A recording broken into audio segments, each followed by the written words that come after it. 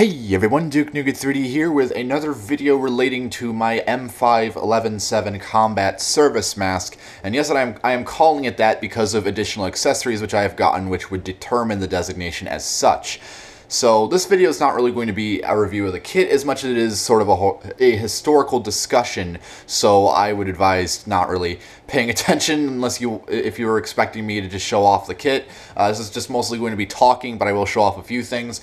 So I bet you're wondering what differs or determines the difference between an E637 and a M5-11-7 uh, Army Assault Gas Mask or Army Combat Service Mask. There's a lot of speculation as to what determines those designations, and I can now tell you after several hours of uh, research and cross-referencing through several documents, uh, I can tell you that the um, the masks that were officially carried in the first wave invasion on the landings at Normandy Beach, um, they the masks carried then were designated the E637. And the way you tell those apart from the M5-11-7 Army Combat Service mask is mainly just the carrier. Because you see, in January 1944, a recommendation was put in to upgrade the E637's E7 carrier to make it wider by one by one and a half inches and uh, no, excuse me, make it wider by a half inch lengthwise and a half inch heightwise. I'm probably getting that entirely wrong. If I do, I'll probably update it in the description. I'll put a I'll put a link to the gas mask wiki down in the description that describes the whole developmental process if you want to sift through all that. But anywho, in January 1944, a recommendation was put forth to upgrade the E7 carrier uh, both lengthwise and heightwise, and also to replace the four dot fastener snaps with three lift the dot fasteners. And this new carrier um, which had begun procurement in spring of 1944, was designated the E7R1 and would later become, become known as the M7 carrier. Now, the carrier that was actually used with the E637 during the D-Day invasion was designated the E7, not the M7 as most historians would like you to believe. It is actually E7. So, and I'm not just saying that either. I've actually, the official technical manual, the um, the technical bulletin that was released specifically for um, using the E637 Army Assault Gas Mask refers to the carrier as E7 and not M7. So just keep that in mind. The way to tell the difference between E7 and M7 carriers is the rows of snaps mostly, and of course the designation printed on the front, whereas the E7 will say Army Assault Gas Mask and the M7 will say Army Combat Service Gas Mask. Um, getting back into it though, the even though the M7 carrier had begun procurement in spring of 1944, the actual um, plans to finalize the E637 with the M7 carrier as the M5-11-7 Army Combat Service Mask were put on halt as well over, like just under 400,000 E637 masks were procured in anticipation of Operation Overlord, and so the masks that were carried into D-Day and into Holland were the E637, and it was not until June 7th of 1944 when the M5-11-7 began to appear.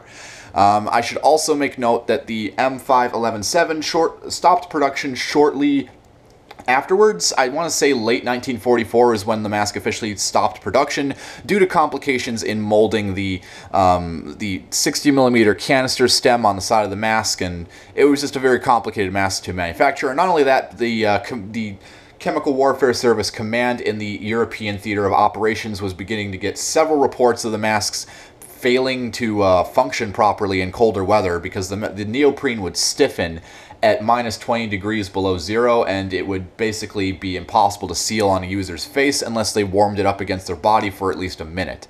Not only that, but the M8 valves also performed poorly in colder climates because the condensate would collect in the valve itself and once the mask was doffed, it would basically freeze over on the valve itself and it would make if the mask had needed to be donned again, it would it basically meant that the mask would fail to exhale out the valve until it was sufficiently warmed enough. So that being said, the Army began to look into alternative options and basically stopped all production of the M5-11-7 by late 1944 as stated before. Uh, my kit, as you can see here, is not entirely complete yet. I am still missing several things, namely the C4 head harness, which, again, I'm still in the process of making a replica for. I found a majority of the materials needed, which are, are I believe, period accurate. I'm going to be ordering samples just to cross-reference and make sure that they are, in fact, period accurate materials for this mask. Uh, and I also need to get an additional um, cover protective individual, one of the one of the gas capes that the U.S. issued. The, two of these were issued with each mask at a time, so I'm actually one short here, and this is like the only one I have. Uh, there's a lot of them on eBay that I'm going to probably order in upcoming months. And I'm also is, uh, missing the M4 protective ointment and the BAL eye ointment as well, as well as two um, gas detection brassards, which uh, all three of which will probably have to be reproductions as originals are very uncommon and often in poor condition. That being said, let's get into the carrier itself because I'm sure most of you want to see that. That's basically why I made this video. So the M7 carrier is probably one of the most interesting but ungainly carriers in American gas mask development. As you can see, the entire exterior of the carrier, actually the interior and the exterior, the entire carrier itself is made out of a um, a typical a cotton duck fabric material, which is waterproofed on both sides with a coating of butyl rubber. Um, and I should note that I believe it is butyl because some technical reports state that the material is butyl. Um, I'm not sure if all of them were like this, but most the only reference I've seen to the specific rubber used on these carriers was butyl. So that is kind of interesting to note that they were making carriers out of butyl, but the face piece is out of neoprene. Um, Anywho, so the M7 carrier is a very large and bulky carrier, uh, all things considered. It, it, I found that the only comfortable way to wear this carrier is at the leg. Like, I, it's too big to fit underneath the arm without the strap cinching up somewhere. Uh, I don't like carrying it on the chest, which isn't even a very official way of carrying it anyways, and it doesn't, it isn't conducive to easily accessing the mask. Um, but anywho, yeah, the leg carrier I found is the most uh, comfortable method of carrying this mask, which I believe was mostly just done by airborne units. Um, I don't know if anyone else did that style of carry, especially not amphibious assault troops. They definitely um, carried it up on the chest or at the side in some cases. Um, as you can see on the front here, stamped in yellow paint. This is not ink, this is actually painted on there with a stamp. Uh, you have the US and the Chemical Corps insignia. Hopefully the bag is not too reflective uh, and is obscuring that. And then below that, obviously, you can see Army Combat Service Mask. You can see the three lift the dot style snaps, which rolled, which are uh, securing a rolled gusset, which keeps the carrier watertight, and has actually been known these carriers. Um, they they serve as a sort of uh, impromptu flotation device, which has actually been credited as saving soldiers' lives on D-Day, as the hermetically sealed air in the carriers would keep them afloat if they were dropped into uh, deeper water. Um, and you can see that there are two trapezoidal flaps of the material coming off the back of it, which would retain the uh, the duck canvas uh, carry straps, which the upper one would obviously be a shoulder strap and the lower one would be a waist strap although if carrying in the leg carry the upper strap would be for the waist and the lower would be for the thigh and speaking of which, they actually anticipated this for being thigh carried because as you can see, there is a longer D-ring and then there's a shorter one. The shorter one was meant to be used for the thigh carry, whereas the longer one was meant to be used for the waist or the, uh, the chest carry. And there really isn't anything to see on the back. Um, you can actually see some remnants of more uh, paint where there was another carrier underneath this when it was unissued. I assume that they were making a great deal of stockpiles of these because the M5-11-7 was kind of on its last legs of production by the time they had implemented these, and so there was basically a lot of stocks of these sit sitting around.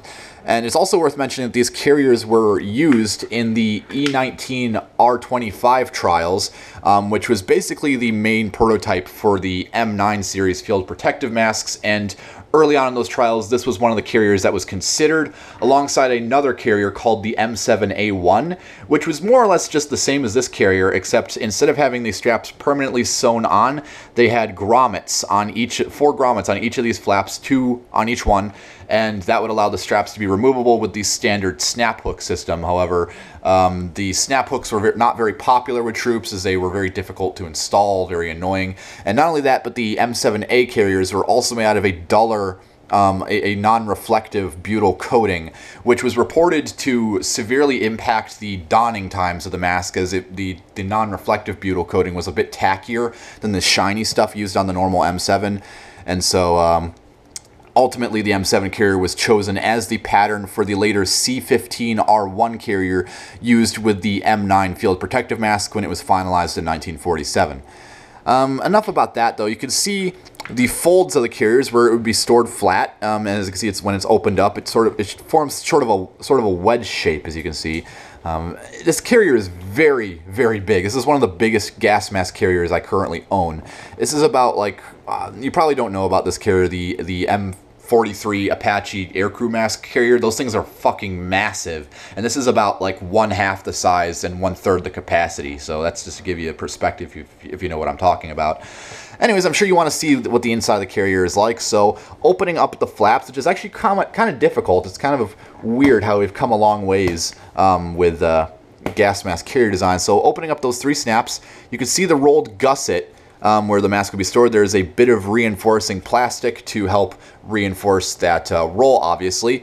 And opening it up, as you can see, I have my Gorka jacket in here. I, have, I need to make a review on my Gorka sometime. I'm not sure when I'm going to get around to that, though, and how I'm going to do it. But anyways, I'm getting, that's a, that's a different topic entirely. So opening up the carrier, there really isn't much to see in here. The only markings other than what's on the outside is a white D stamp, which might be, be in reference to a manufacturer, however, I'm not entirely sure.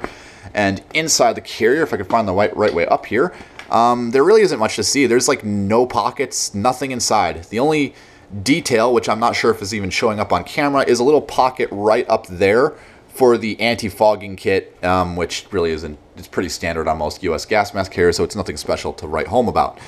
Um, that being said, that's pretty much all there is to say about this carrier. That's pretty much the entire history I've covered. And again, I will link the Gas Mask Wiki article on the development of the M5 Combat Service Mask in the description for all you to check out. And I know I said in the last video that I was going to make a restoration post on the US Militaria forum. I have not done that yet. I, am actually preferring to wait until I complete the restoration in order to post all the images, so I'm not, because like all the past restorations I've posted on the US Militaria forum are not yet complete yet, just because, I again, I'm having that issue with the harnesses. I need to rivet new harnesses on, and I'm still waiting to get my rivet press machined so that I can work with US gas masks, but that should hopefully some be sometime later next month. I'm hoping. That's, that's really dependent on uh, the people who are dealing with it and not me. So again, I'll keep you posted on that, and that's really all I have to say at this point. So if I missed anything, feel free to let me know. If you have any comments, questions, corrections, or concerns, drop them down in the comments below. I'm Duke Nougat 3D, and I'll see you all later.